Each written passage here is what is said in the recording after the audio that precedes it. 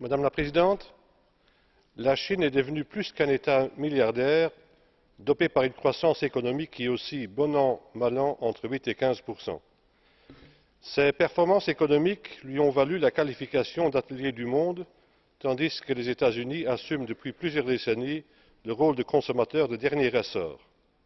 La Chine produit, vend, stimule la consommation américaine du fait qu'elle fournit aux États Unis, parallèlement aux produits vendus, des crédits à la consommation. La Chine, qui encourage de ce fait la consommation américaine plus que la sienne, se voit ainsi confrontée à des sollicitations de la part du reste du monde. L'interdépendance stratégique entre les États Unis et la Chine est telle que tout changement sensible dans ce curieux partenariat n'aurait pas que des conséquences décisives pour ces deux pays. quant aux relations ue chine elles sont certes essentielles mais leurs convergences d'intérêts dans des domaines importants sont moins évidentes.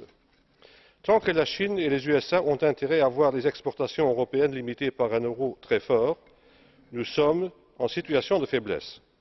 ajoutons que depuis que la chine est membre du conseil de sécurité des nations unies avec droit de veto elle est devenue également une référence incontournable dans le domaine des relations internationales.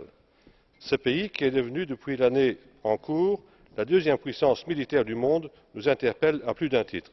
la stabilité passe désormais aussi par la chine. pour toutes ces raisons et pour toutes ces questions euh, je me permets d'ajouter aussi que nous avons besoin d'urgence d'une stratégie euh, européenne en matière de relations extérieures.